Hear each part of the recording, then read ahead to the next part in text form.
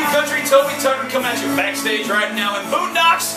We got Mr. Randy Houser. What's going on, man? I'm good. How are You you? are rocking it right now.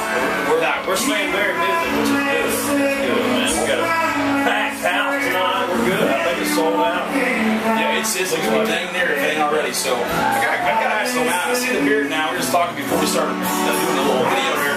I'm doing no shave November, so I know I look different than usual. But uh, you got any good beard tips from the guys out there rolling this month? Beard tips?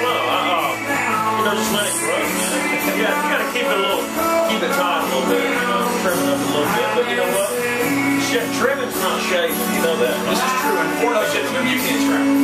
Well, I, everybody needs a little trim every now and then. But tell you what, man, you've been having a great single out now with How Country Feels. Uh, doing very good. I think it's top 20 or right at about now. It is. It's sitting at uh, Now this song, I know you are usually actively writing your songs. This one you wrote yourself. No, this is actually a song that some friends of mine wrote, and uh, and it was one of the first songs that I heard when I started looking for songs for this record. One of the first things I recorded for this new album, and uh, when I heard it immediately, I knew I wanted to record it. It one of those songs. As soon as I heard it go, hair down, hair down, I was like, we're cutting that. you know, it was just one of those one of those uh, hooks, you know, that I just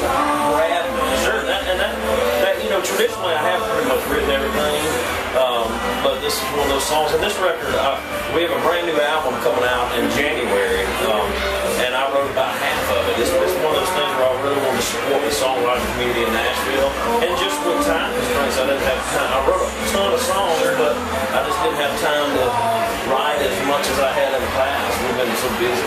Well, the whole album process too. I mean, you're talking about a ton of songs you consider. Oh, yeah. And then 10, 11 usually make an album. Yeah.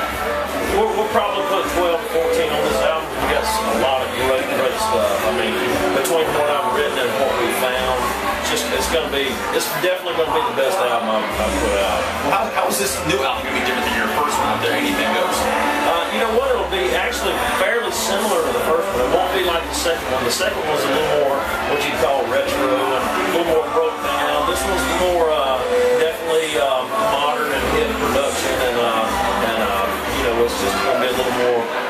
this year, next year, you know. How different has it been being on Stoney Creek Records now versus labels you worked in the past? It's been fabulous, man. I have, I, I really feel like I have a team that is so supportive of me and my music, and uh, and and are just 110 percent behind me and my all. They're just great. And I have nothing to complain about. at all. We said album's coming out in January.